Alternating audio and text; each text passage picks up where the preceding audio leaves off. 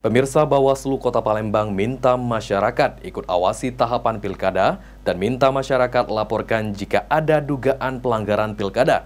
Selama tahapan kampanye, Bawaslu Sumatera Selatan telah terima enam laporan dugaan pelanggaran.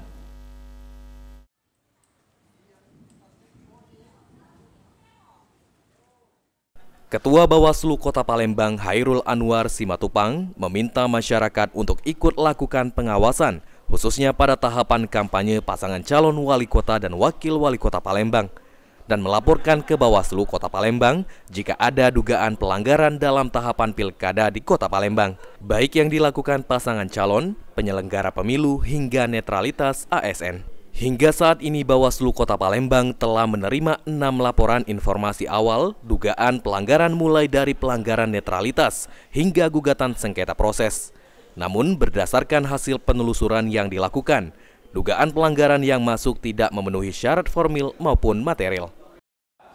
Laporan itu yang paling banyak terkait netralitas.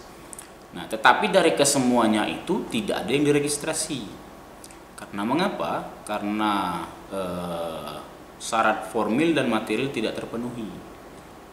Jadi eh, laporan itu eh, sudah ada sebegitu dan kita berharap dalam pelaksanaan kampanye ini kita menunggu ada ndak eh, masyarakat Kota Palembang yang berpartisipasi untuk mengawasi bila ada temuan dilaporkan ke kita. Nah, itu kita kita menunggu.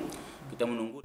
Hairul Anwar Simatupang menghimbau kepada setiap pasangan calon wali kota dan wakil wali kota Palembang dan tim kemenangan untuk selalu mentaati aturan dalam tahapan kampanye Pilkada 2024. Eki Saputra, PAL TV.